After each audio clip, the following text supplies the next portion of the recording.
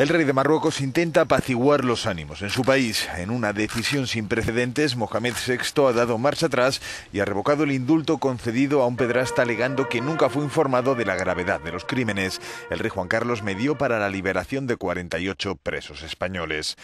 El pasado martes, las autoridades del Reino Alagüí anunciaron que uno de ellos era Daniel Galvambiña, condenado a 30 años de cárcel por haber abusado de 11 niños. Se cree que ahora está en España tras haber obtenido un salvoconducto y el principal problema problema radica en ver si la anulación del perdón tiene consecuencias jurídicas en su país de origen.